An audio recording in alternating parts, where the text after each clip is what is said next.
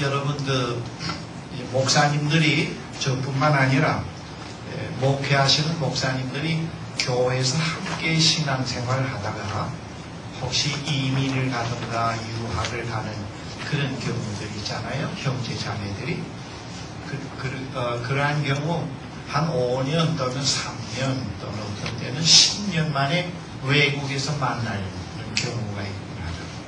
저도 마찬가지입니다. 근데 그렇게 만났을 때 아주 반가워요.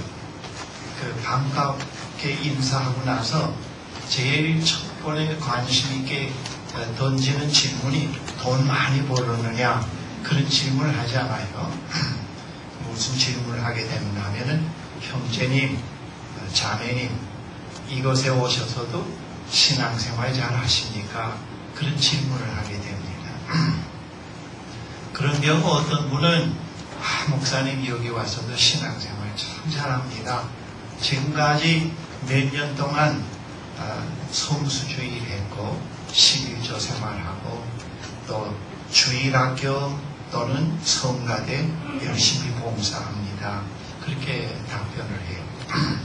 또 어떤 분은 신앙생활 잘합니까? 하고 질문을 하면은 아, 대답을 잘 못해요. 그리고 아주 주눅이 들어서 어, 목소리가 아주 주, 어, 기어드는 목소리로 목사님 아, 성수주의도 못하고 11조 생활도 못하고 또 교회 봉사도 못합니다. 그런 답변을 들, 들을 수 있습니다. 이제 우리가 그 신앙생활 잘한다 못한다는 표준을 거의 교회에다 포커스를 맞춰요. 그래서 성 주일 빠지지 않고 그 다음에는 아, 11조 버리지 않고 또 봉사 하나 충실히 한다 할 때는 신앙생활 잘한다고 그렇게 생각을 합니다. 그런데 질문을 좀 패턴을 의미를 바꾸어서 형제님 또 어, 그 자매님 이 외국에 오셔서도 영성 생활을 잘하고 계십니까? 그렇게 질문을 할 때는 어, 조금 다른 의미를 갖게 되는 겁니다. 아, 이 외국에 오셔서도 한국에 계실 때와 마찬가지로 매일매일 하나님과 깊은 교제의 삶을 살아가고 있으니까 그런 뜻이 됩니다. 뭐, 물론 그 어, 주의를 중심으로 해서 교회 생활하는 것은 물론이거니와 월요일부터 토요일까지 예, 직장에서 있든지 가정에 있든지 어디에 있든지 간에 매일매일 예, 우리의 삶 속에 성령으로 현존해 계시는 그 하나님과 늘 깊은 교제의 삶을 살아가고 있습니까? 그런 질문이 됩니다. 그 영성 생활, 영성이라고 하는 건 무엇이냐? 그 복잡하게 생각할 필요 없어요. 영성이라는 것은 성령 안에서, 성령 안에서 하나님과 깊은 교제의 삶을 살아가는 것을 영성 생활이라고 그렇게 얘기를 합니다.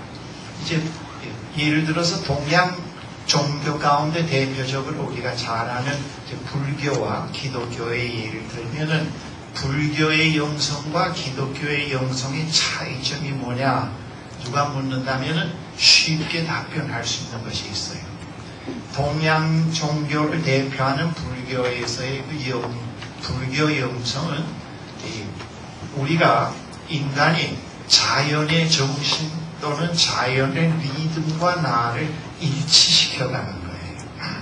그래서 이 불교의 영성에 깊이 들어가게 되면은 이 자연의 리듬과 자기가 자꾸 일치되게 됩니다. 자연의 정신과 그런 것이 돼요. 그런데 기독교 영성은 그렇지 않고 기독교 영성은 자연의 정신과 자기를 일치시켜 가는 것이 아니고 이 세상을 창조하신 궁극적인 실재가 되시는 reality가 되시는 분과 일치시켜 가는 겁니다. 그것이 이제 동양의 대표적인 종교 기독교와 불교의 차이점. 우리 기독교 영성에는 분명한 reality가 있어요. 그러나 불교에는 reality가 없어요. 혼자서 석가가 보리수 밑에서 터득한 인생의 고를 극복 회복해가는 그 길을 터득했습니다. 그리고 그 터득한 길을 많은 것으로 이제 교훈으로 남겼어요. 그래서 그 후에 사람들이 석가모니가 남긴 그 돌을 닦아서 남긴 그것을 가지고 또 그, 그 도의 길을 따라가면 돼요. 그래서 석가는 어, 그 불교에서는 하나의 그 스승입니다. 아, 훌륭한 영적 스승으로서 앞서가는 분이 되는 겁니다.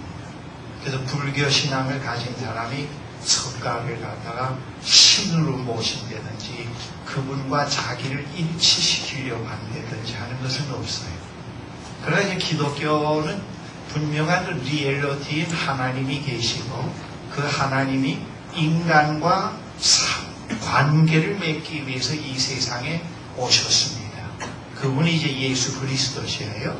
그래서 우리는 그 예수 그리스도는 하나의 동양 종교의 어떠한 종교의 창시자가 아니고 우리가 직접 그분과 우리 자신을 일치시켜야 할 분입니다. 그분을 믿어야 되고 그분과 관계를 맺어야 됩니다. 그래야 우주의 궁극적인 실재 reality가 되는 하나님을 알게 됩니다.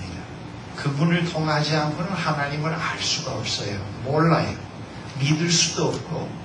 그래서 예수 그리스도는 하나님이 어디에 계신다, 어떻게 믿으라 교훈으로 준 것이 아니에요.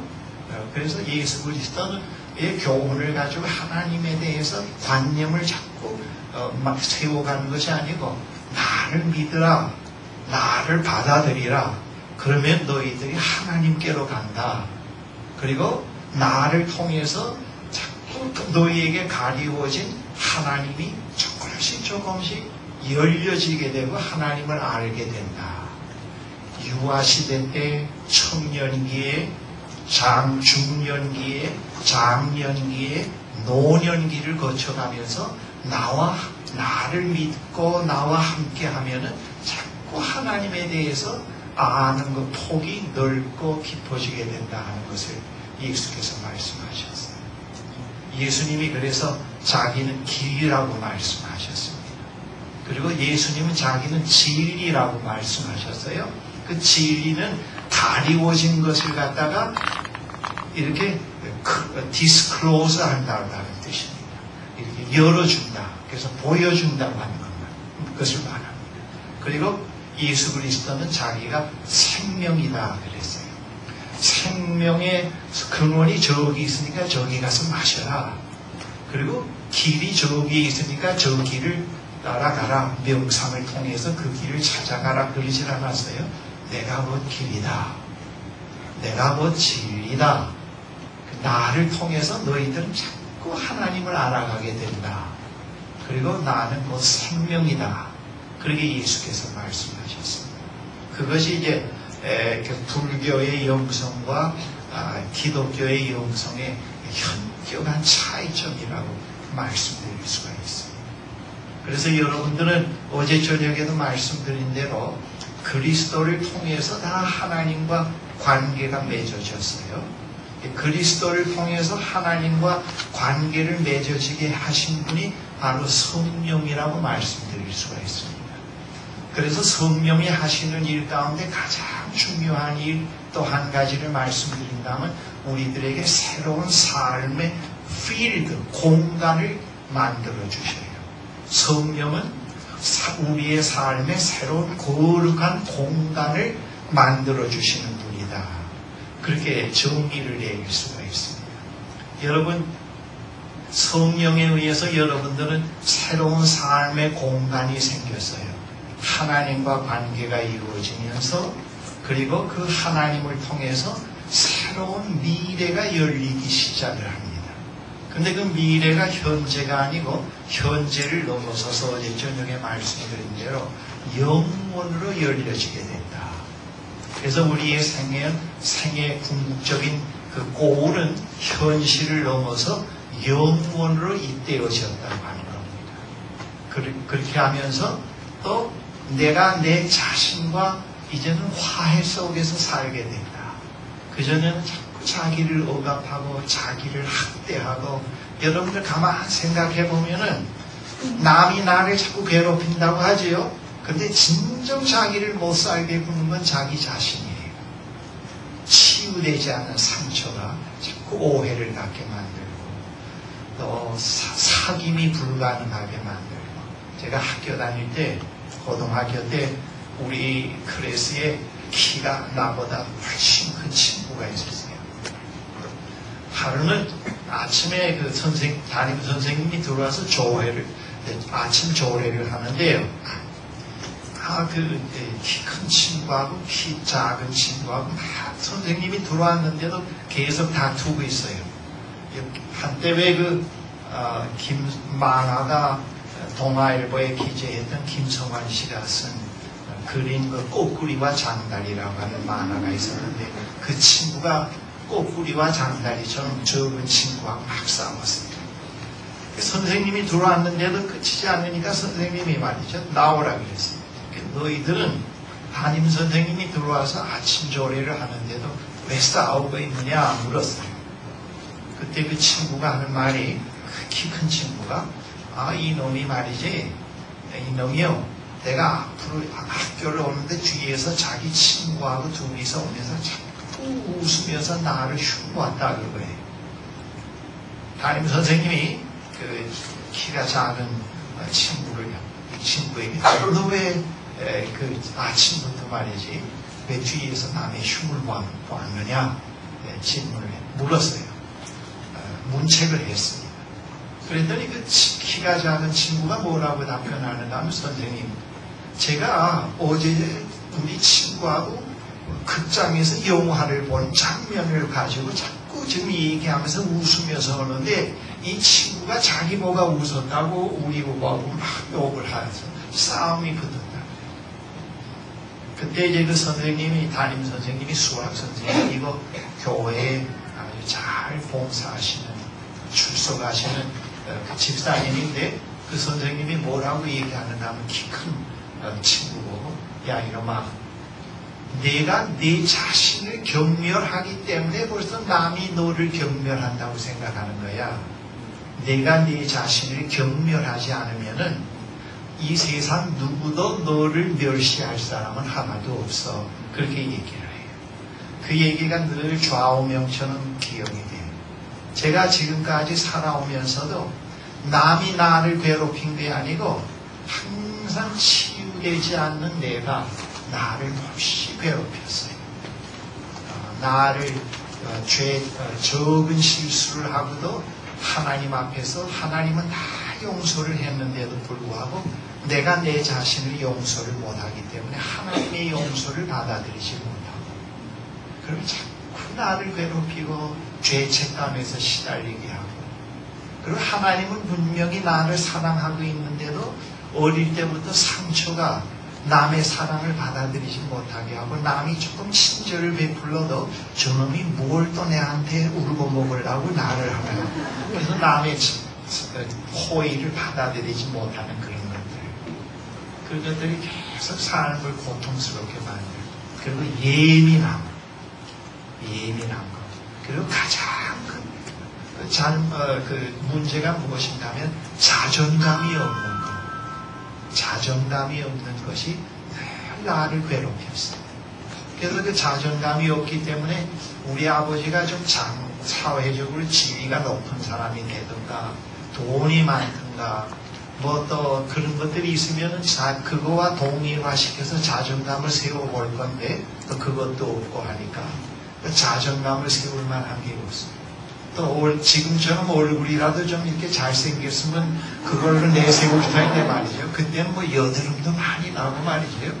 그렇게 잘생기지 못했다고요. 그래서 요즘엔 사람들이 저를 보면은 미남이라고는 안 하는데 미남은 아니지만 모습이 있다고 그래요. 그래서 내가 아, 멋있다 그렇게 생각을 해요. 그러나 그걸 제가 자존감으로 삼진 않아요. 자존감을 삼죠. 그리고 학교에 가면은 늘 바닥을 긁고 그래요. 12권이라도 들어야 될 텐데, 그리고 영어 수학이라도 좀 잘해야 될 텐데, 영어 수학도 못하고 하니까 뭐 자존감이 있을래야 있을 수가 없다. 근데 요즘에 와서는 제가 그리스도를 알고 그래서 그리스도 안에서 새로운 피조물로 자꾸 변화되어 가기 시작을 하면서 제일 큰 변화가 자존감이 생겨나기 거예요. 그거는 가문도 아니고 학벌도 아니고 큰 교회도 아니고 하나님이 참 나를 사랑하시는구나.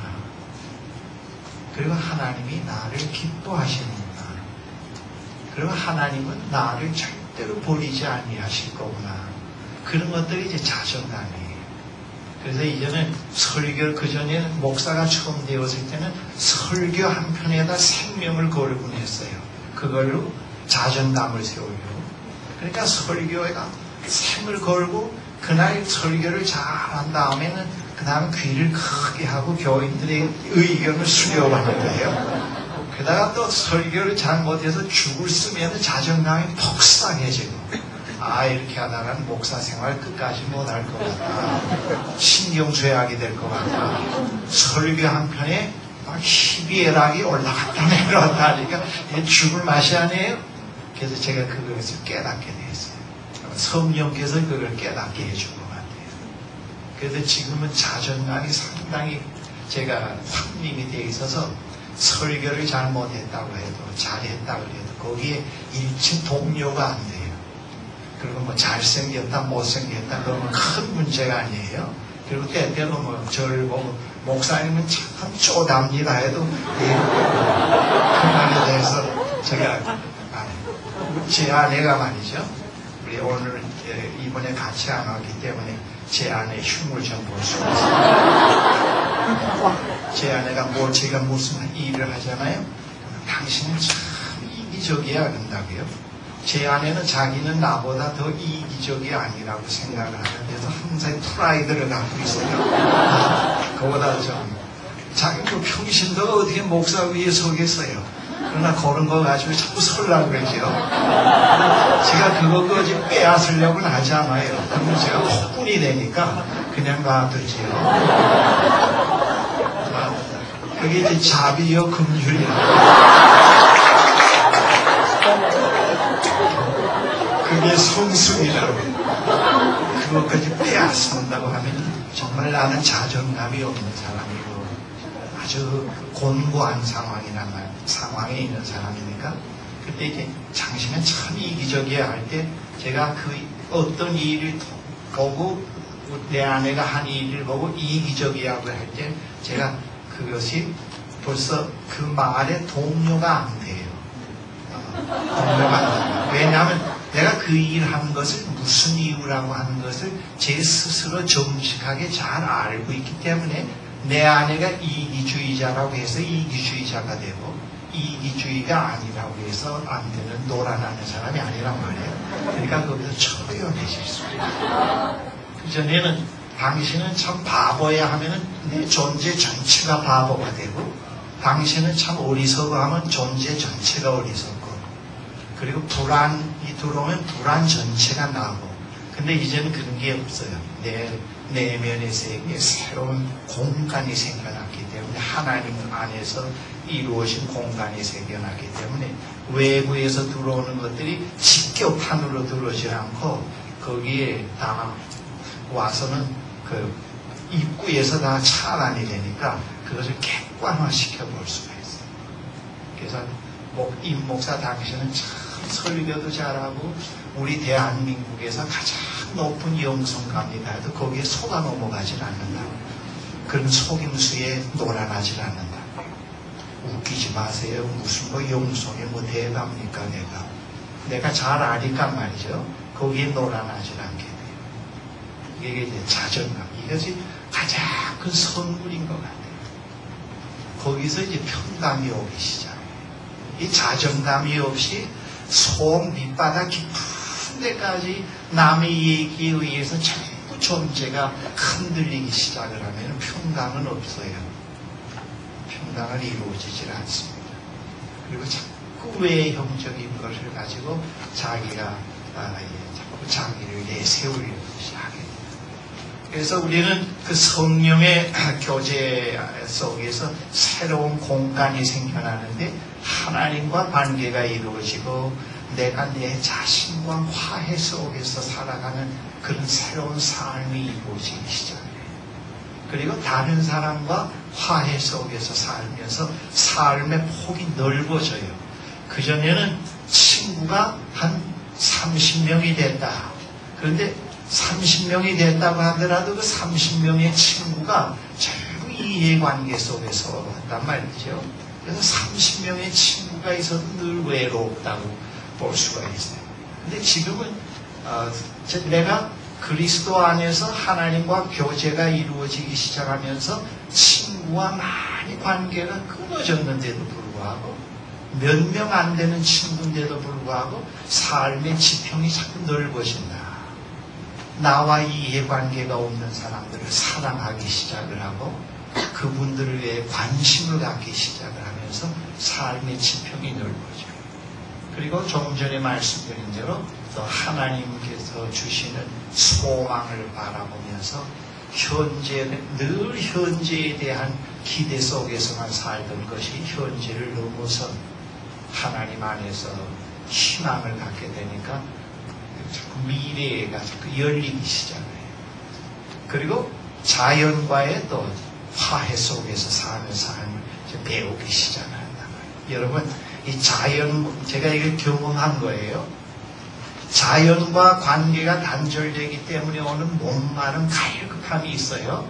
그리고 자연과 화해 속에서 살지 못하기 때문에 오는 내면의 문제가 상당히 커요. 근데 한때는 저는 그걸 모르고 자꾸 그것을 기도로 처리하러 해소시키려고 했단 말이에요. 아, 그리고 믿음과 관련시켰어요. 그렇기 때문에 이 믿음이라는 것이 자연과도 관련이 없고 다른 사람과 화해 속에서 살지 못하기 때문에 늘 갈등이 오는 건데 그것을 자꾸 믿음에다가 해서 자꾸 성령 충만, 충만, 충만. 그리고 자기가 자기를 괴롭히고 자기를 고통스럽게 만드는데 남이 나를 고통스럽게 만든다고 성령 충만해서 마귀를 이기게 해달라고. 그러니까 이 믿음의 생활이 아주 폭이 좁아 요. 극도의 개인주의. 그리고 성령 충만이라는 것이 전반전 인수격으로 고통 없고 무고통 어, 그런 걸로만 자꾸 이해해. 성령 충만하면 지금 내가 나, 나가, 내가 나를 괴롭히는 이 괴로움을 어, 알지도 못하고 나, 이런 괴로움도 없어질 거다. 그렇게 생각을 해요. 그래서 자꾸 거기에 매달리게 되니까 여러분 이렇게 성령 충만을 추구하다 보면은 점점 어떤 변화가 오는지 알아요? 눈동자가 비치기 이렇게 돼요. 그리고 곤문 동자가 적어지면서 흰 눈동자가 커지기 시작해요. 얼굴이 우울하게 뜨고요. 그리고 집중력이 없어져요.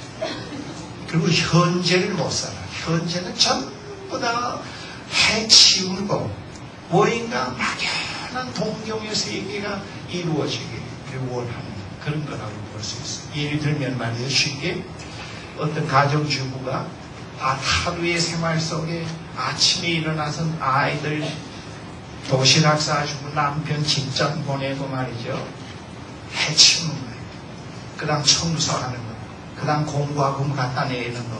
그 다음 또 뭐 친구한테 전화하고 그런 거. 청소하고. 그 다음 또 저녁 시간이 되거든요. 그럼 또 하고. 그러니까 하루 중에 하루 전체가 다 의미 없이 해치우는 거예요. 하루 중에 유일하게 의미가 있는 건 저녁 시간에 드라마에 나오는 대장금 뭐 그런 거. 요즘에는 뭐, 뭐요? 요즘에 인기 있는 드라마 하나 있죠. 장미리 나오는 거. 어? 어, 엄마가 뿔났다. 어, 그거 한 시간 보는 게 유일한 시간이란 말이에요. 근데 딱 텔레비 켜놓고 딱 보면서 또 그 시간 빨리 보고 자야지. 그리고 빨리 보고 또 끝난 말이에요. 그리고 끄고 이제 잠자리는 빨리 자고 일어나야지. 그러니까 항상 빨리. 무엇인가 모르게 자꾸 잡을 수 없는 그것을 잡으려고 합니다. 그런데 에, 여러분들이 자연 속에서 이 진정한 성령에 의해서 새로운 삶의 공간이 이루어지기 시작을 하면서 하, 시작을 하면서 말이죠. 아, 이 자연과 더불어 화해 속에서 사는 것, 살지 못했기 때문에 이런 문제가 생겨났구나 하면서 많은 갈등이 거기서 해소되는 걸 경험하기 시작을 해요. 그리고 내가 내 자신을 너무 괴롭히기 시작을 했다. 그걸 깨닫고 나서 자기를 자꾸 용서하고 받아들여요. 용서하고 받아들인다는 것과 어, 거짓된 합리화를 시킨다고 하는 것은 달라요. 그 차원이 다른 거예요.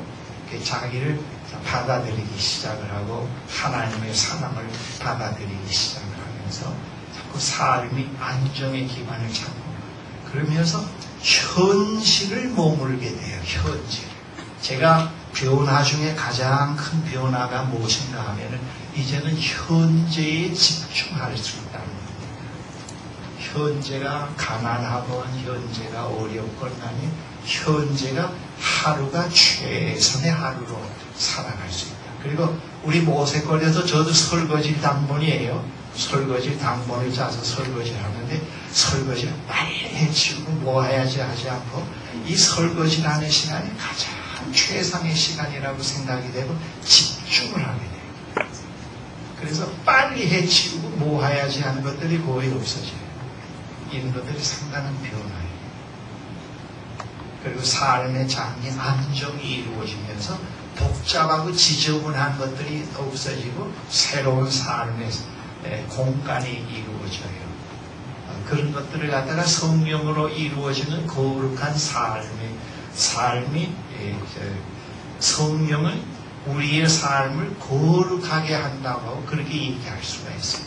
성령이 하시는 중, 일 중에서 어, 어, 어, 첫 시간에는 성령은 우리와 하나님과 관계를 갖게 만들어서 새로운 삶으로 태어나게 한다고 했어요. 많은 교인들이 새 삶이 된다는 건 믿어서 새 삶이 된다는 건 DNA가 바뀐다. 또 자기가 구상한 자기 성격이 완전히 다른 걸로 바뀐다. 도저히 불가능한 것들을 생각해요. 그러나 그렇진 않아요. 현재 임영수, 상처 입은 임영수, 많은 문제가 있는 임영수를 외모를 보지 않고 내면에 있는 내가 나를 소외시킨 많은 상처와 상실이 있는 나를 하나님이 보시고 관계를 맺으러 오신 거예요. 근데 사람들은 깔 끔하게 입고 차려입고 점잖게 교회 가서 착한 행실을 하는 쇼를 하면서 그런 걸 보고 하나님이 오시는 줄 알아요. 근데 하나님은 그런 하나님이 아니에요. 그런 하나님이 아니고 하나 그래서 하나님 우리와 관계를 맺으러 오신 하나님 우리가 를 찾으러 오신 하나님과 만나는 시간이 교회 나가는 사람들 중에서도 꽤 시간이 오랜 후에야 만나는 사람들이 있어요. 이미 그분이 계시는데도 불구하고 만나지 못해요. 왜냐하면은 쇼를 하니까 하나님이 임명수의 진정한 소외시키며 상처 입은 나 성장하지 못한 그런 어린아이와 같은 나 그런 나를 만나러 오는데 나는 자꾸 내 의의로 나를 과장해서 세우려고 합니다. 제가 이제 결혼하기 전에 어떤 분이 중매를 했어요. 제 안에 중매를 했는데 뭐라고 중매를 가운데 그 중매 내 안에 소개가 들어왔는가 하면 천사라 그래요. 세상에 천사라고 그 말이 혹했다고 그래요. 만나니까 정말 천사 같아요. 다소하고 머리가 길고 참 말씨가 매너가 있고 아 정말 천사구나. 나중에 알고 보니까 그 중매 집회 한 분이 어, 내 안에 안에 가서 뭐라고 거짓말했는가 하면 성자라고 거짓말했어. 내 안에 또 속은 거라고요. 아 성자하고 결혼했구나. 나는 또 성자처럼 또 행동을 했지요. 그래서 이게 그런데 여러분 결혼 전에 보는 것은 그거는 전체 중에 한 2%가 아수 아수 그런 우스개가 있잖아요. 어떤 남자와 여자가 만나서 몇 개월 사귀다 결혼을 했어요. 그래서 신혼여행을 갔다고요. 신혼여행을 갔는데 첫날 밤을 잤다가 신부가 일어나서 화장실에 가려니까 신랑이 나처럼 안경을 꼈거든요. 그래서 안경을 벗어놓고 잘 거 아니에요. 그 보니까 한쪽 눈은 감고 한쪽 눈은 떴단 말이에요. 그래 이상해서 이 신부가 새끼 손가락으로 찔러 보니까 그 눈이 프레스틱으로 만든 의안이었단 말이에요. 깜짝 놀랐어요. 그래서 흥분이 됐어요. 그래서 깨웠어요. 남편이 말이죠. 하루에 신혼 첫날부터 이렇게 수다를 떠냐고 당신 사기를 쳤다고 그랬어요. 아, 내가 뭘 사기를 쳤냐고. 그랬더니 아, 이 한쪽 눈이 잘못됐는데 그 데이트하는 3개월 동안 한 번도 그거를 내한테 얘기하지 않았잖아요. 그랬습니다. 그러니까 남편이 시 웃으면서 아, 그거가 내가 언제 사기쳤냐고 당신을 만날 때마다 한눈에만 했다고 그러지 않았냐고. 언제 두 눈에 반했다고. 아니, 다 속아서 결혼하지, 두 눈이 멀쩡하면 못한다고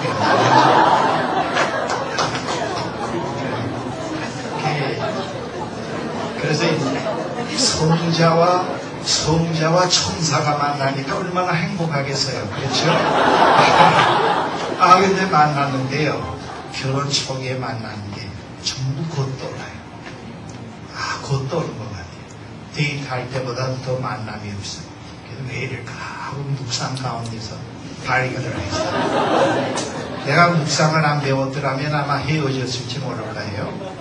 두 사람이 양쪽에서 자꾸 도덕적인 완전을 요구하면서 잔소리가 많아졌을 거예요. 그리고 결혼할 때 여자가 아니다. 결혼할 때 남자가 아니다. 뭐 그렇게 할 수 있잖아요. 왜일까? 그랬더니 생각을 해보니까 우리들이 너무 결혼 전에 보여줬던 상을 깨뜨리지 않고 그 이면에 숨겨진 면을 드러내지 않으려고 너무 조심하고 긴장되어 있다는 걸 알게 되었어요. 어느 날 내 아내가 이제 어, 학교 교사였는데 나도 이제 학교 교목으로 있었고 그래서 직장에 가서 나가온 다음에 제가 제 아내 불러놓고 얘기를 했어요. 자, 우리는 이제부터 나는 성자도 그만할 테니까 당신은 천사도 그만할 테니까. 어릴 때부터 척하다 척하다 얘기를 듣고 천사라고 얘기 들으니까 어릴 때부터 자기를 자꾸 소외시킨 거예요. 자기를 표현을 자꾸 억제한 거예요. 그러니까 진정한 김아묵의 자매의 진정한 자매는 크지 못하고 항상 숨겨져 있고 자꾸 남의 눈에 보이게만 있는 거예요.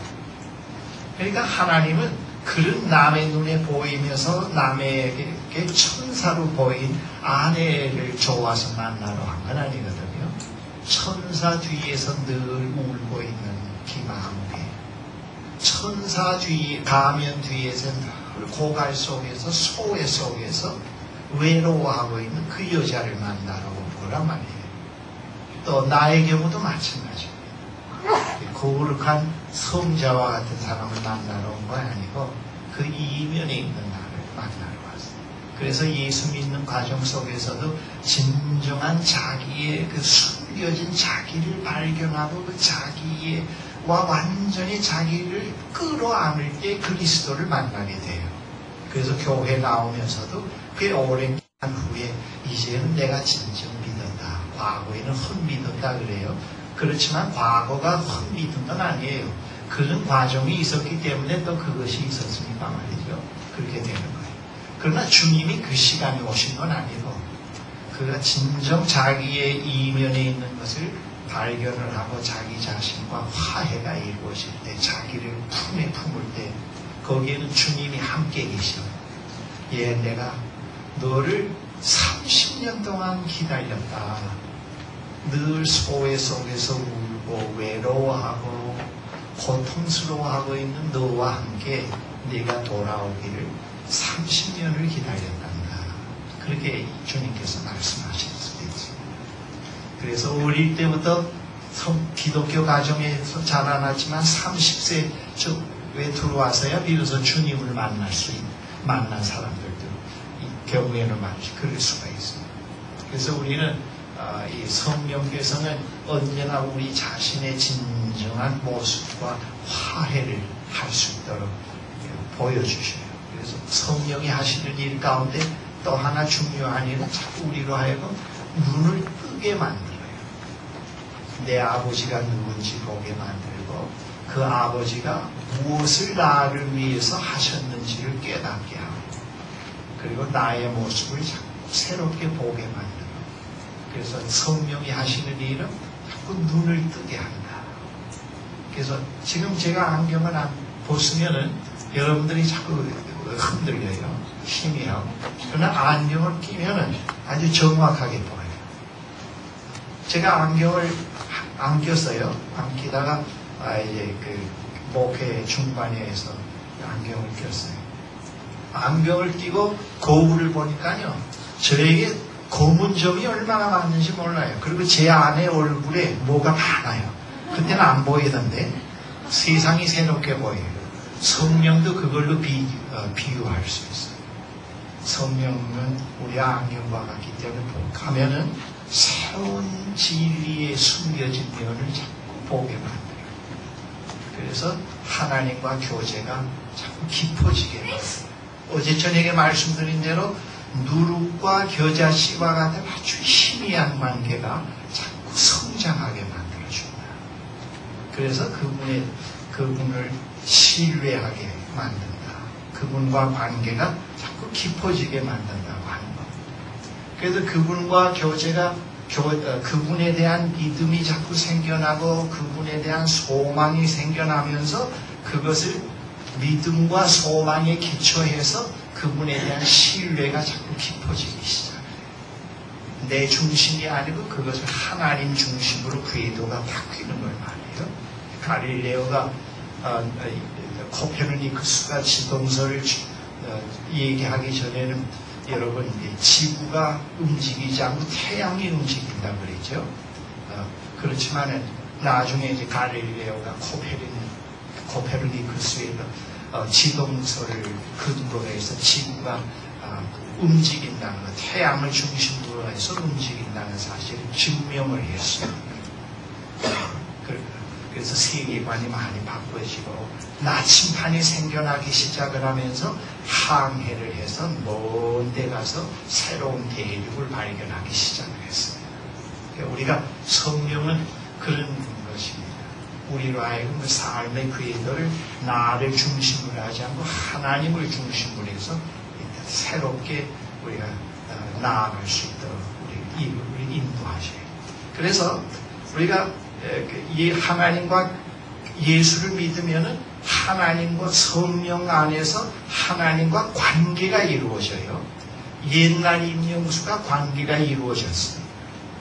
관계가 이루어졌기 때문에 이제부터 그 관계가 겨자씨와 누룩과 같이 계속 깊어지고 넓어지고 높아지면서 내가 변화되기 시작을 해요. 어떤 학생이 그런 질문을 해요.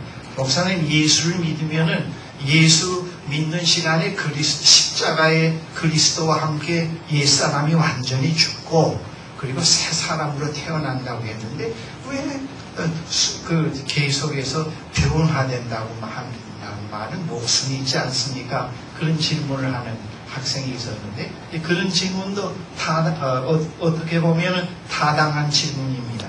그러나 우리가 변화된다고 하는 것, 새로운 피조물이라고 하는 것은 이제부터 성령에 의해서 새로운 장이 형성된다. 그리고 거기서 관계가 새롭게 형성되어 가기 시작을 한다는 의미에서 새로운 피조물을 말합니다. 한꺼번에 DNA가 바뀐다. 성깔이 바뀐다. 완전히 천사가 된다. 그걸 말하지 않아요. 그걸 말하지 않고 임명수가 이제는 자기를 소외시키는 데서부터 해방이 돼서 그전에는 거짓된 자를 가지고 놀아났다. 이제는 그 거짓된 자의 가면을 벗어버리고 진정한 리얼한 자기의 셀프와 함께 살게. 근데 그 리얼한 자기 자신은 참 상처가 많은 사람이에요. 허물이 많은 사람이에요. 그런데 이제부터 새로운 주인이 그분과 함께 살아가면서 그분의 사랑을 받아들이고 상실된 것들이 그분에 의해서 자꾸 보상이 되기 시작을 하면서 내 삶이 점점 변화가 오기 시작한다 하는 것을 말합니다. 그래서 기독교의 변화는 율법주의, 도덕주의가 아니에요. 그것을 상당히 넘어서는 아, 이제는 내가 자존감이 생겨나기 시작을 한다. 그 세상 것들로 늘 자존감을 세우려고 노력을 했던 데서 해방이 되기 시작을 하니까 벌써 상당한 변화가 와요. 틀림없어요. 상당한 변화가 오기 시작을 해요. 그리고, 그리고 자기가 자기를 괴롭히지 않기 시작을 하니까 그리고 예민한 것들이 지금 없어지기 시작을 하니까 변화가 자연히 와요.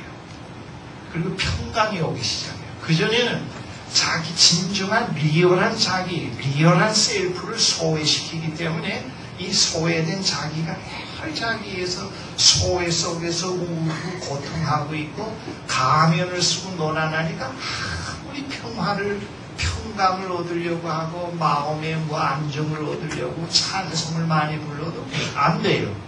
진정한 자기가 평안을 못 얻으니까 그런데 자기가 진정한 그 거짓된 자아를 벗어버리고 진정한 자기와 일치 속에서 이제부터 주님과 함께 살아가면서부터는 평화가 오기 시작해요. 진정한 자기가 변하니까 변 치유가 되고 온전케 되고 안정을 찾기 시작하고 자존감이 생기기 시작하고 새로운 삶의 필드가 형성이 되기 시작을 하니까 평강이 오기 시작해요.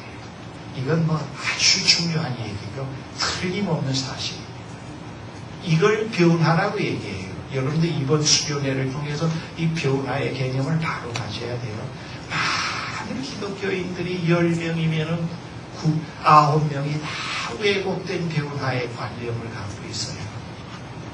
거의 도덕적인 이상, 율법적인 이상을 갖고 있기 때문에 자꾸 남보고는 변하다가 변화되라고 하는데 자기는 변화되질 않아요.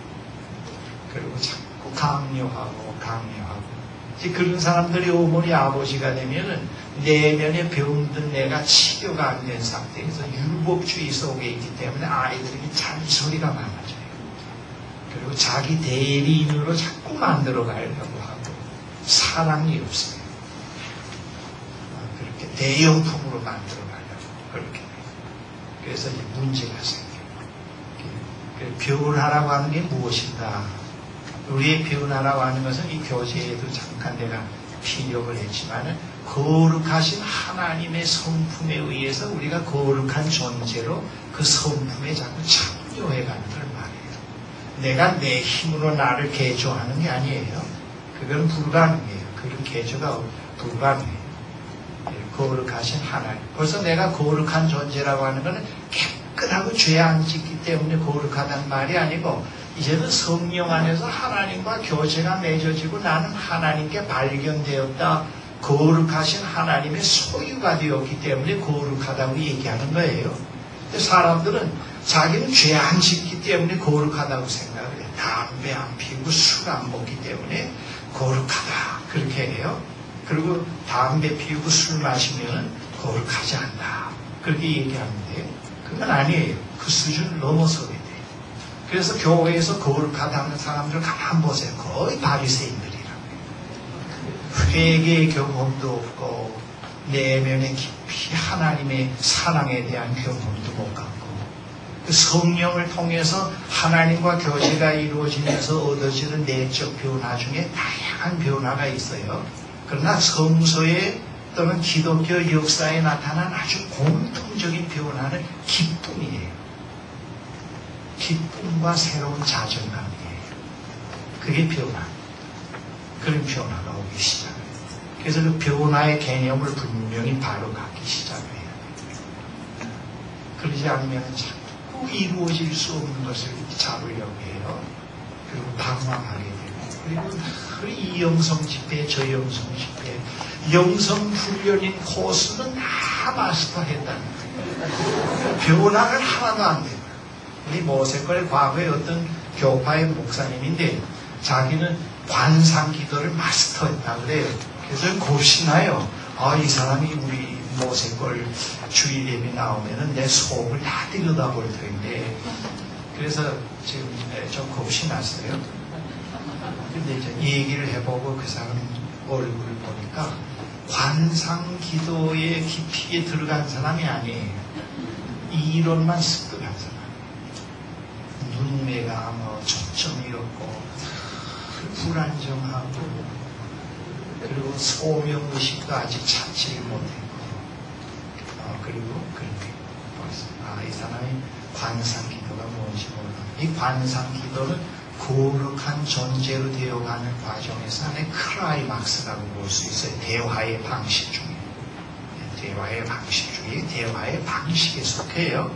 어떤 면에서 자꾸 대화를 그래서 이 우리가 하나님과 교제를 관계를 맺은 다음에 이 관계가 계속 정상적으로 잘 자꾸 발전되게 하기 위해서 어, 제일 우선적으로 필요한 것이 무엇인가 하면은 하나님과 다이아로그가 이제 이루어져야 돼요. 여러분 제가 이제 중고등학교 때 예, 주위에 있는 사람이 저를 보고 군자라 그랬고 그리고 저를 보고 기도대장이라 그랬다. 이게 벌써 초, 중고 때 벌써 제가 군자 소리를. 대단한 사람이 이 자리에 섰어요. 그런데요, 군자라는 얘기를 듣고 기도대장이라는 얘기를 듣긴 듣는데도 내면의 어두움은 하나도 해결이 안 돼. 이게 나의 고민이었어요. 그리고 그 치- 칭찬이 항상 무거운 짐이 돼. 그리고 그 칭찬을 깨버리자니 깰 수가 없고, 그것을 깨버리면 내가 없어질 것 같고, 그걸 그대로 갖고 있자니 하나도 일치되지 않는 데서 오는 고민이 있고, 그래서 인격의 늘 분열 속에서, 아마 그, 그런 기독교 신앙이 계속됐더라면 제가 아마 불교나 다른 힌두교로 갔을지 모르거든요. 왜냐하면 이 기독교 신앙은 복음은 거짓말이다. 하나도 내면의 문제에 해답을 못 준다. 그리고 제가 이 자리에 설 수도 없었을 것 같아요. 그런데 제가 그걸 나중에 알게 됐어요. 하나님과 교제가 이루어진 제가 극적인 변화 가운데 하나를 얘기한다면 다이알로그를 터득하기 시작했어요. 그 전에 뭐 처리할 때이 좋은 설교를 듣고 말이죠. 좋은 그 신앙서적을 읽으면은 감동을 받아서 어, 또 이- 많은 좌우명을 해요. 그리고 성경을 읽어야 착해집니다. 성공합니다. 기도를 많이 해야 됩니다. 할 때는 또 집에 와서 내일 아침부터 새벽 4시에 일어나서 성경 다섯 장, 기도 30분. 그래서 그 시간엔 4시에 일어나는 건 문제가 아니에요. 그리고 성경이 골치가 지근지근 아파도 다섯 장까지는 며칠 동안 읽을 수 있어요, 지금. 근데 제일 문제가 기도예요. 이 30분을 뭘로 때우나. 때우려. 그리고 처리를 하려고 가면은 말이죠. 막 마음이 클클하고 고통스러워서 혼자서 처리를 하러 가면은 이 밤을 어떻게 지내나. 그래서 말 어른들 흉내낸다. 주여 믿사오니 주옵소서. 또 찬송가 가사를 외우기도 하고 그러다가 또 서- 시간이 얼마큼 지났나 좀 알아보기 위해서 두 눈을 다 뜨면 또 벌 받을까봐 이렇게 보고 한 눈만 감고 이렇게 보고 또 모르구나. 아무 의미 없는 기도. 그 기도는 기도대로 있고 내면의 문제는 내면의 문제대로 있고. 그런 세월을 상당히 방황을 했어요. 그래서 이제 거기서 제가 해방이 되기 시작을 한 것은 내면 깊이 비밀스러운 이 인격이라는 것은 어린아이, 갓난아이 때부터 한 살, 두 살, 세 살, 네 살 되어 오면서 인격의 특징은 비밀의 영역이 생겨나는 거예요. 시크릿한. 그래서 여러분들 세 살 난 아이, 네 살 난 아이, 다섯 살 난 아이들 보면은 엄마는 몰라도 돼. 너는 몰라도 돼. 자꾸 자기 비밀의 영역을 갖고 말이에요. 예. 그런데 그 비밀이 나이가 커갈수록 과학적인 비밀보다도 의문에 대한 비밀보다도 거의 내면의 비밀은 도덕적인 것, 종교적인 비밀이에요. 계속해서 그게 가책을 주고 고통을 주고 불안을 주기 시작해요. 그래서 그게 심각해지면 병리적인 현상을 일으키게 되면 불안, 불면증이 오게 되고 또 그렇게 될 수가 있습니다. 이 제가 이- 그런데 그 다이얼로그를 제가 터득을 했어요. 내면 깊이 있는 거. 아직까지 어머니에게나 친구에게나 누구에게도 발설하지 못했던 고통스러운 문제들을 하나하나 격식 없이 아버지 앞에 얘기하기 시작을 했어요. 그러면서 대화의 문이 열리기 시작하면서 하면서 그 관계가 인격적 관계로 자꾸 형성되어 가기 시작을 했어요. 지금도 어, 제가 지금 또 모세골에 있습니다만은 어, 저 지금도 가끔 내면에 문제가 있어요. 어떤 어려운 문제가 있고 어떤 충동이 있던가 분노가 있던가 해서 이제는 그걸 말로 하질 않아요. 조용히 하나님 앞에 예, 정죄를 하고 어, 하나님 지금 제 마음을 그대로 하나님께 열어놓습니다. 제 마음 깊은 곳에 분노를 보시옵소서. 그리고 내 마음 깊은 곳에 이른 어두움을 보시옵소서. 그리고 아버지께서 이것을 보시고 처리해 주시고 저를 바로 세워 주십시오. 그걸 인위적으로 덮어놓고 안 그런 척 하려고 하고 빨리 도피하기 위해서 자꾸 수다를 떨거나 전화를 하거나 그러질 않아요. 그렇게 되면 불과 시간이 얼마 안 돼서 아주 신비스럽게 그것이 잘 해결이 되고 거기서 풀려나요. 그것이 바로 초월적 힘이라고 그래요. 초월적 힘이라고 하는 것은 병자를 고치는 거 40일 아무것도 안 먹고 기도했는데도 어, 금식했는데도 살아있다는 것도 물론 그렇지만 진정한 초월적 힘은 바로 그런 걸 말해요. 우리의 인간으로서 되지 않는 문제가 해답이 없네요. 거기서 많은 언어가 필요 없어요. 그래서 지금 나이가 자꾸 들어가면서 하나님과 교제가 그전보다도 깊어진다고 얘기할 수 있는데 말수는 자꾸 적어지거든. 그러면서도 말수는 적어지지만 하나님과 함께 대면해서 조용히 있는 시간은 자꾸 길어지겠단 말이에요. 인위적이 아닌데. 어떤 때는 물론 짧을 수도 있지만 거기에 구애를 받지 않을 수도 있습니다. 그래서 하나님과 이 맺어진 관계가 저- 인격적 관계로 자꾸 되어가기 위해서는 내리란 것들을 하나님 앞에 얘기할 수 있어요. 어떤 자매가 예, 오래전에 제가 교회 일을 볼 때 저에게 와서 그런 얘기해요. 목사님 기도를 가르쳐 주세요. 그래요. 어떻게 하면 좋겠습니까? 여러분 기도할 줄 모르는 사람이 어디 있어요? 문장 잘 써서 기도를 하면 뭐 얼마나 잘해요. 근데 그 자매의 이야기는 그런 것이 아닌 것 같아요. 그걸 제가 이해했어요. 그래서 제가 경험한 대로 내면의 깊은 것들을 갖다 하나하나 아뢰라고 얘기를 했어요. 했더니 그 다음 몇 주 후에 일부 예배를 마쳤는데 그 자매가 손님, 교인들이 다 가는 걸 기다렸다가 저한테 찾아와서 목사님, 저는 이제는 기도할 줄을 알아야 하는데 얼굴이 얼마나 밝은지 몰라요. 그때 제가 그걸 감을 잡았어요. 아, 이 사람이 이제는 하나님과 대화의 문이 텄구나. 그걸 이제 알게 됐어요. 그리고 우리가 기도할 때는 대부분 그 약방에 가면 말이죠. 예를 들어서 제- 제가 약국에 가서 크리스탈 누아르 활명수 한 병, 또 진통제 하나 주세요. 그 약국의 약사가 말이죠. 그 처방은 어디에서 그 전에 처방전 없이 살 때 말입니다. 누가 처방한 선생님이 혹시 약하게 관계가 있나요? 아니에요. 그럼 병원에 계십니까? 아니에요. 그럼 이건 누가 처방했나요? 제가 했습니다. 어디 아픈데요? 그래서 뭐 몸살이 오고 또 좀 소화가 안 되고 아 이걸 잡수면 안 됩니다. 이제는 다음부터는 오셔서 처방해 갖고 오지 말고 증상만 얘기해 주세요. 그래요. 그래서 그 다음부터는 약국에 가면 증상만 솔직하게 얘기한다고요. 좀 부끄러운 것들이 있더라도 말이죠. 그때는 뭐 나 모르는 약방에 가서 얘기하면 우리가 하나님 앞에 거의 자기 욕심과 명예심과 공포 속에서 딱 결론을 가지고 다 숨기고 줄랍니까 안 줄랍니까 때렸습니다.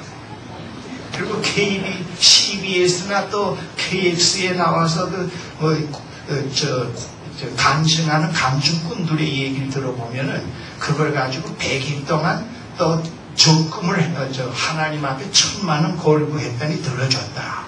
또 천, 천 번째 제사를 드렸는데 매번 만 원씩 했더니 사업이 잘 된다. 그따위 소리에 자꾸 교인들이 현혹이 된다.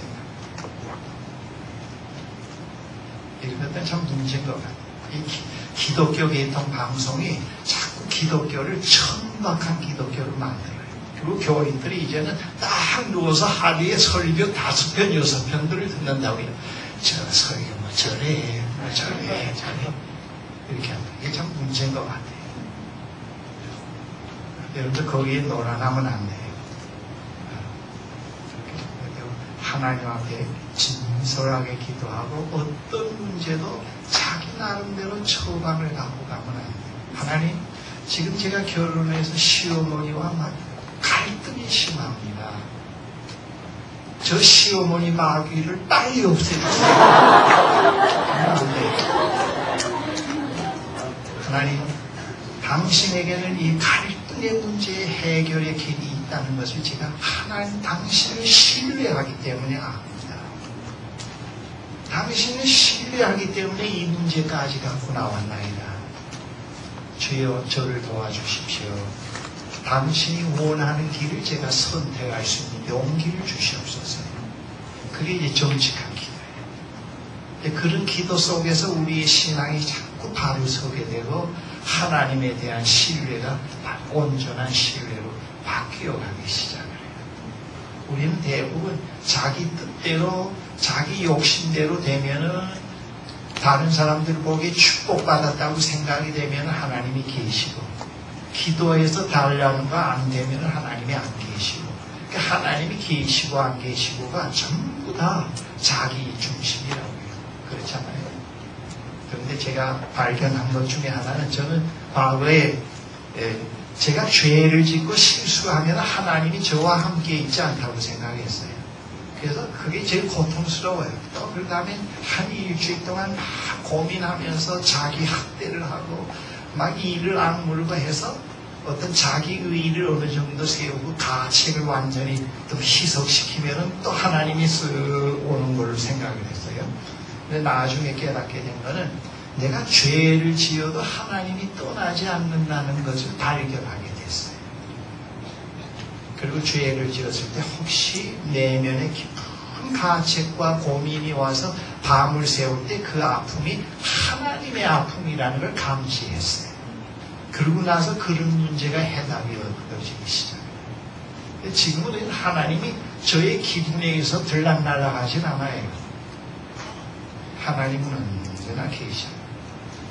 회의가 있어도 계시고, 기쁨이 있어도 계시고, 슬픔이 있어도 계시고, 병이 나도 계시고, 실패해도 계셔요. 그래서 언제나 실패와 어떤 병과 고난 속에서라도 우리가 하나님을 신뢰하게 돼요.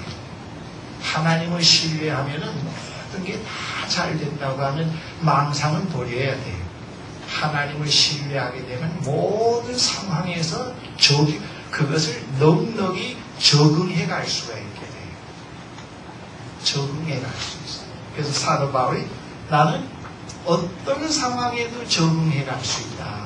배고프고, 배부르고, 고난이 있고, 기쁘고, 어떤 상황에도 나는 적응해 갈 수 있다. 그런데 하나님을 신뢰해 가는 길을 자꾸 배우게 되면은 말이죠. 하나 분명한 것은 삶이 많이 이지해져요. 쉬워져요. 그 쉬워진다는 말이 무슨 말인지 알아요? 원하는 신랑과 원하는 뭐그 이제 부인 될 사람이 아주 좋은 사람이 만난다. 뭐 이렇게 모든 걸 기도하는 대로 뭐 요술방망이처럼 되어진다는 뜻이 아니에요. 되는 게 아니고 하나님을 신뢰하게 되면은 모든 상황에서 신뢰하게 되면은 문제의 핵심을 바로 보기 시작을 하고 그리고 거기에서 그 존재의 힘이 생겨나기 시작을 새로운 희망이 거기서 자꾸 생겨나니까 거기서 이루죠. 어느 자매가 목사님 흔들리지 않는 믿음이 있으면 좋겠다 그래요. 자꾸 자기가 자꾸 흔들린대요. 그래서 이 얘기를 가만 한 10분 동안 해보니까 그 자매님이 흔들린다는 건 자기가 고난이 와도 침착하고 고민이 안 생기고 두려운 일이 와도 두려움이 안 생기고 그리고 항상 자기는 큰, 어, 동료가 없는 감정으로 쭉 이어지면 좋겠다는 뜻이에요. 그게 흔들리지 않는 믿음이라고 생각하는 거예요. 자기는 자꾸 흔들린다고 해요. 그래서 제 자매에게 얘기했어요. 뭐, 그거는 흔들리는 믿음이 아닙니다. 그걸 추구하면은 죽을 때까지 그건 불가능합니다. 그래서 우리가 무엇인데 고난과 어려움이 오고 좌절, 그, 저, 어리, 저, 시험이 올 때 왜 우리가 동료가 안 되겠냐? 우리가 뭔데 동료가 안 되겠냐? 우리는 자꾸 동료가 될 수밖에 없다. 그러나 어떤 상황에서라도 흔들리지 않는 믿음은 항상 하나님을 신뢰하는 거다. 내가 지금 암 말기 진단을 받았다. 그냥 사색이 되어서 사형 선고 받은 사람처럼 울면서 집에 왔다. 며칠 동안 거기에서 헤어나오지 못하다가 하나님이 자기와 함께 계신다는 걸 알고 찬성하면서 다시 일어나게 된다. 그를 일으키게 하신 것이 바로 어디냐? 바로 하나님과 있다고 하는 겁니다. 바로 이 그런 것이 흔들리지 반석 위에 세운 집이라고 하는 것은 바로 그런 것을. 어떤 상황이 와더라도 항상 하나님에 대한 신뢰가 흔들리지 않는 겁니다.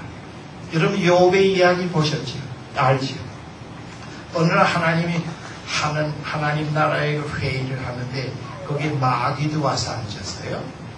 그래서 하나님께서 그 마귀가 있는 앞에서 욥을 칭찬했어요. 그때 마귀가 하나님에게 뭐라고 얘기하느냐 하면은 하나님 그 욥이 당신을 잘 믿는 것은 이 세, 세상 사람들과는 다른 어떤 까닭이 있어서 잘 믿습니다. 세상적인 까닭이 있다. 그 세상적인 까닭이라는 뭐예요? 자녀들이 남보다 더 잘 되고 남보다 더 재물이 많고 그 남보다 더 명예가 있고 그런 걸 얘기하는 거예요. 그래서 하나님이 그 사탄에게 권한을 줬어요. 그럼 네가 생각하고 있는 욥이 세상에서 나를 잘 믿을 수밖에 없는 까닭을 한번 제거해 보라 그랬어요. 그래서 먼저 가서 욥이 갖고 있는 모든 재물을 갖다가 다 빼앗아 버렸어요. 없어지게 만들었어요. 그런데도 욥이 하나님을 배반하지 않거든요. 그 다음에 다시 회의에 왔을 때 하나님이 봐, 욥이 나를 배반하지 않잖아. 하나님, 그건 그 재물은 아직도 그 관계가 자기하고 멀기 때문에 그렇습니다. 혈육의 관계에 손을 대보세요. 하나님을 욕하고 떠날 겁니다. 그랬다고요? 그래? 그럼 가서 혈육에다가 손을 대봐 그랬어요. 그래서 그 다음 사탄이 내려가서 욥의 자녀들을 하루아침에 다 멸망하게 했어요. 죽게 만들어서 망하게 했다. 그런데도 욥이 껐떡하네. 봐, 욥의 신앙이 훌륭하지. 하나님, 그 혈육은 그래도 자기보다 벌써 한 말자 뒤에가 아닙니까? 욥 직접 자기 몸에 고통이 오게 해보세요. 그러면은 하나님을 배반할 겁니다. 그랬어. 그럼 해봐. 그 다음 사탄이 가서 머리 끝에서부터 발끝까지 욥에다가 종기가 나게 했죠. 욥이 죄를 갖다 놓고 그 아, 거기에 앉아서 말이죠. 베옷을 입고 기와장 깨진 거로 헌대를 긁을 정도로 고통이 심했어요. 욥의 부인이 하나 난 나를 저주하고 죽으라고 했어요. 그렇지만 한 욥은 절대로 하나님을 저주하지 않고 또 하나님 신뢰를 포기하지 않았어요. 그래서 나중에 하나님을 다시 만나게 되는 거죠. 그게 이제 신뢰예요. 모든 인간 조건을 넘어선 그 신분에 대한 신뢰. 그래서 인간 조건 때문에 그분을 신뢰한다고 했을 때는 그 신뢰가 상당히 문제가 돼요. 그래서 우리의 신뢰는 자꾸 그런 수준으로 올라가야 돼요. 모든 인간 조건이 다 무너지더라도 그분에 대한 신뢰는 흔들리지 않는 거예요. 그것을 흔들리지 않는 믿음이라고 얘기해요. 이 흔들리지 않는 믿음을 자꾸 우리 교인들이 왜곡하고 있어요. 자기가 칭찬받고 자기가 흔들리지 않고 확고무등하고 자기가 동료가 없어서 고통이 없고 어, 어떤 감정의 동료 때문에 자꾸 고통이 많으니까 그런 게 좀 없어야 되겠다. 성령 충만하면 없어질 거다. 뭐 그렇게도 생각해요. 근데 그건 다 헛된 거예요. 헛된 거예요. 그래서 우리 기킨덕 교인들이 자꾸 헛된 허망한 소망에다가 자꾸 목표를 두고 그렇게 되려고 시간을 많이 낭비하게 돼요. 그런 것들을 여러분들이 하나님과 관계에서 살아가면서 그 자꾸 깨닫기 시작해요. 그래서 청년기, 중장년기를 넘어서면서 그분과 교제가 깊어지면서 어제 저녁에도 얘기했지만 제가 유어 청소년 때, 20대, 30대, 40대를 넘어오면서 제 삶이 많이 자꾸 바뀌어졌다고 하는 거. 도덕적으로 완전해졌다는 것이 아니고 바뀌어졌다고 하는 거. 그래서 지금이 상당히 건강하다고 하는 걸 느낀다 하는 것을 제가 얘기를 했습니다. 바로 그러면 하나님 신뢰를 바르게 배워오는 결과라고 얘기할 수가 있습니다. 우리가 하나님과 신뢰가 깊어지는 그 자체가 벌써 하나의 그 우리의 삶이 거룩하게 되는 한 과정, 아주 중요한 과정이라고 말씀드릴 수 있습니다. 성령은 우리에게 새 삶의 장소를 만들어줍니다. 거룩한 삶의 장을 성령 안에서 우리가 갖게 된다. 그래서 성령은 우리의 삶의 거룩한 장입니다. 그 장에서 우리는 새로운 삶을 전개해 가기 시작을 한다. 그 삶이 내 자신의 내면의 세계만이 아니고 우리의 영혼은 세계가 없이는 우리의 영혼이 존재할 수가 없고 우리의 영혼은 우리의 육신의 몸이 없이는 존재할 수가 없어요. 그래서 기독교 신앙의 성화가 내면의 영적인 거에만 초점을 맞추면 안 되고 성령 안에서 새로운 삶이 형성된다는 것은 세상과 나와 모든 관계를 얘기를 해요. 거기서 새롭게 자꾸 삶이 전개되어 가고 새로운 삶으로 나아가는 그런 것을 그런 뜻에서 성령은 우리의 삶을 거룩하게 하십니다. 우리의 삶을 태어, 새로 태어나게 하시면서 그리고 태어난 삶이 계속해서 거룩한 삶으로 자라게 하십니다. 그런 분, 그분이 바로 성령이라고 어, 말씀드리, 네, 말씀드릴 수 있습니다. 오늘 저녁에 이렇게 말씀드리고 내일 오전 시간에 또 내일 오후 시간에 계속해서 그 다음 과정 말씀을 드리도록 하겠습니다. 네.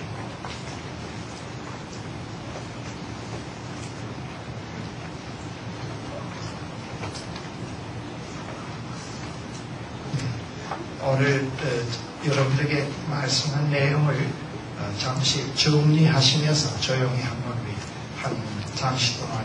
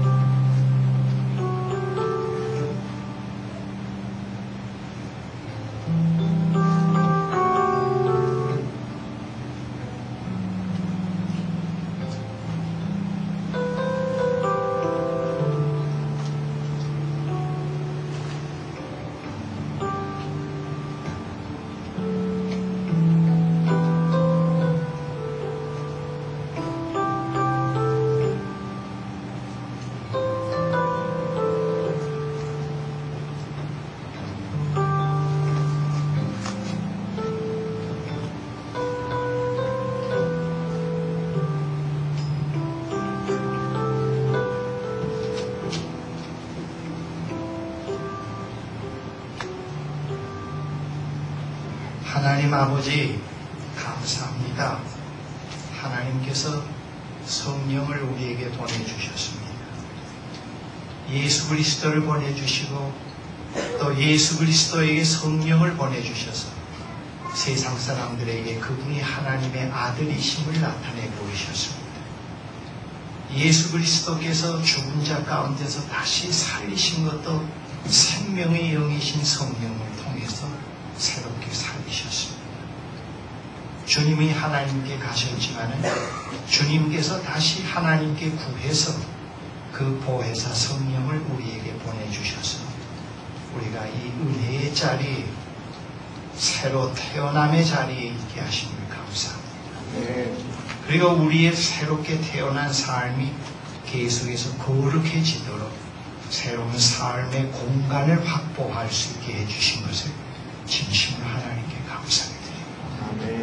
하나님, 우리의 삶이 늘 성령 안에서 아버지께서 거룩한 삶으로 이 만들어 가시는 이 새로운 삶의 공간을 넓혀가게 하시고 여기서 자유함을 배우게 하시옵소서. 그리고 여기에서 진정한 삶을 새롭게 이해하면서 살아갈 수 있는 사랑하는 아들, 딸들이 되게 해주시옵소서. 예수 그리스도의 이름으로 Thank you.